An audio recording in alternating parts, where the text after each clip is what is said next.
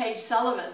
Welcome to Taos. Many things come to mind when people think of Taos the amazing landscape, the variety of outdoor activities, and the thriving art scene.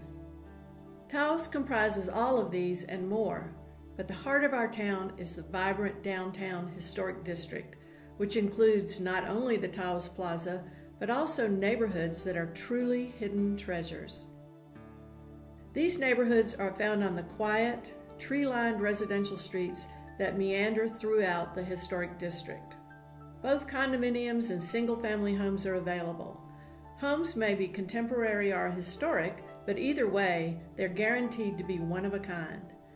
They may have courtyards and cottonwoods, patios and portals, or lawns and gardens. Construction may be adobe, frame, or pumice, and homes may be designed in a variety of architectural styles, from traditional Pueblo to territorial to anything in between.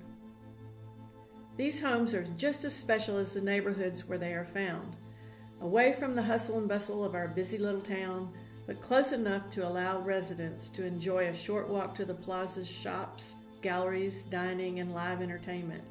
When you live in the heart of town, you're part of it. Taos is not just a destination, it's a way of life.